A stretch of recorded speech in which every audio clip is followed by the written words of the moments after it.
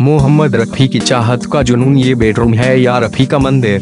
भारत के संगीत चमकते सितारे मोहम्मद रफ़ी ने आज ही के दिन दुनिया को अलविदा कहा था।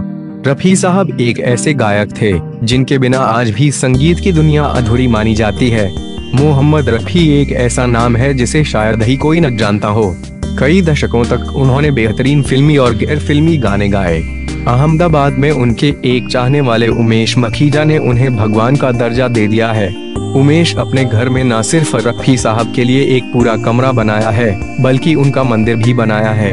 कपड़े का व्यापार करने वाले मखीजा रफी साहब को भगवान की तरह मानते हैं। उनके दीवानेपन की हद यह है कि अपने मकान का एक कमरा उन्होंने रफी के नाम पर रखा है।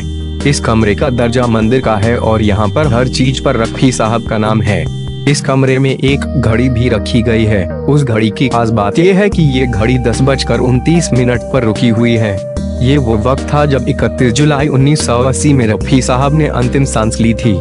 कमरे में रफी साहब की यादें सहेजती हुई पचपन तस्वीरें लगाई गई हैं। पचपन तस्वीरें इसलिए क्योंकि रफी साहब की उम्र पचपन साल की थी।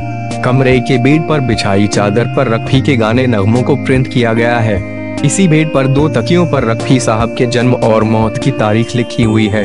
चादर पर रखी के गाने नगमों को प्रिंट किया गया है। उनके मंदिर में रफी साहब की कब्र की मिट्टी और रफी साहब जिन चीज़ों का इस्तेमाल किया करते थे, वो सभी असल चीज़ें रफी साहब के परिवार वालों ने उमेश मखीजा को दी हैं। रफी साहब का चश्मा। उमेश मखीजा का कहना है कि रफी साहब को वो पहले से इतना नहीं चाहते थे, लेकिन पहली बार जब उनका गाना सुना था, तब पता नहीं क्या हुआ था। मैं बस रफी साहब की ओर खींचता चला गया। आज उमेश मखीजा के पास रफी साहब के चार हज़ार से ज़्यादा गानों का संग्रहालय है। यही नहीं, उमेश मखीजा को लोग रफी साहब के भक्त के तौर पर जानते हैं। जो भी किताब रफी साहब के जीवन पर लिखी जाती है, उसे उमेश मखीजा के ज़रिए बनाए गए रफी साहब के कमरे में पहले रखा जाता है। उमेश मखीजा के पास रफी साहब के चार हज़ार से ज़्यादा गानों का संग्रहालय है।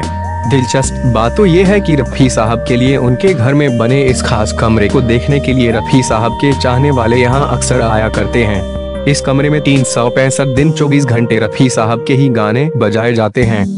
मखीजा के पास मोहम्मद रफी द्वारा गाए चार हज़ार से ज़्यादा गीतों का भंडार है। इनमें कुछ गाने तो ऐसे हैं जिनका और कहीं मिलना बहुत मुश्किल है। ये गाने हिंदी, पंजाबी, सिंधी, गुजराती और देश की अन्य भाषाओं में है। यहाँ तक कि दो गीत तो अंग्रेज़ी में भी गाए हुए हैं।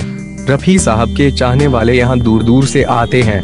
उमेश मखीजा की दीवानगी इस हद तक है कि वो रविवार को रफीवार के तौर पर मनाते हैं। इस दिन दोपहर 12 से लेकर शाम 5 बजे तक जो भी रफी साहब को चाहता है वो यहाँ पर आकर रफी साहब के गानों का लुत्फ उठा सकता है। रफी साहब के चाहने वाले यहाँ दूर दूर से आते हैं।